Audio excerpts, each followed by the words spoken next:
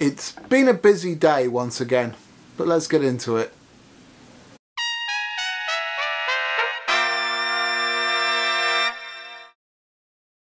Hi, I'm Bryan from Airflow Music. Welcome back to another video. This is the October 27th edition of our Go Practice Daily series. I hope you're having a great day today. This has been a busy day for me. I'm recording this segment at least right at the end of the day, although I recorded today's exercise as one of the very first things I played um, just over 12 hours ago. The exercise we're dealing with in this video is once again going to be exercise of the week number two our original alternative technical study, or the technical study uh, arpeggios number one, as it's called in the exercise of the week book. And we started on this one yesterday, and we had kind of a stumble through it. And once again today, I'm going to play this fairly slowly, 100 beats a minute. And once again, we're just going to play this slurred. Ignore the articulations for now. Keep it comfortably soft. I'm going to personally play this really soft. I recorded this uh, just before 9 o'clock in the morning, which is a little earlier than I typically like to play open horn in the apartment here. So I have a cut mute in just to take the edge off and I'm playing quite softly. For you, you should keep it to a comfortable soft volume. That's my recommendation. And just kind of once again, this is not quite as much of a stumble through as it was yesterday. Having played this yesterday, I'm a little more familiar with it, so my hope is that it will go a little more smoothly.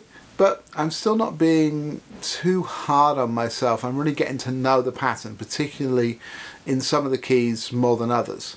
So that's what we're going to deal with with this one. Let's get into playing it.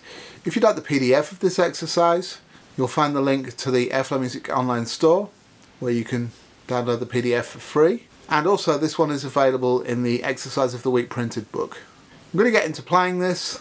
Uh, 100 beats a minute as I say. I'm going to aim to make 4 bars rest in between keys. And I'm going to try and do a better job than I did yesterday of counting out 4 bars rest and not starting again too early.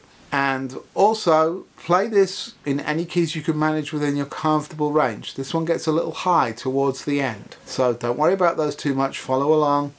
Observe what the pattern is or play it down the octave for the later keys if it's too high for you. Okay, I'm not trying to hurt ourselves here. Anyway, let's get into playing this thing.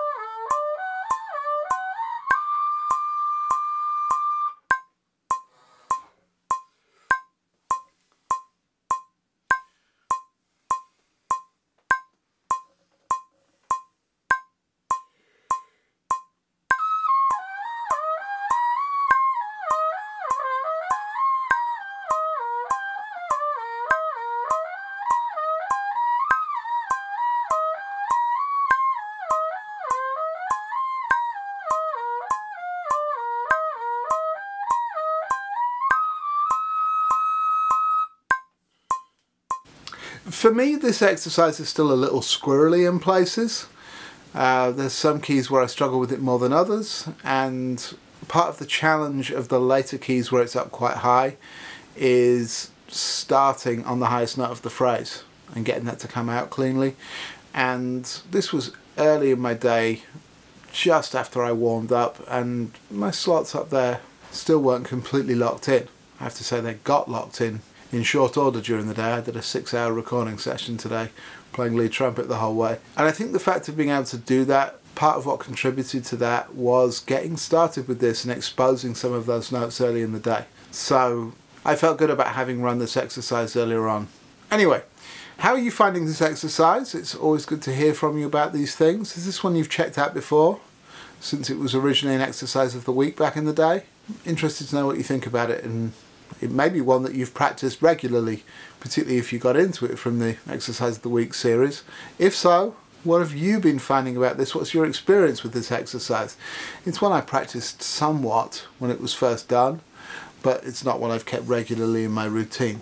Anyway, otherwise, that's what I have for you in this one. Hope you've enjoyed the exercise and playing along with me. If you have, please do hit that like button and subscribe to the channel if you haven't already. I'll be back with another video tomorrow, and until then, thanks very much for watching and go practice.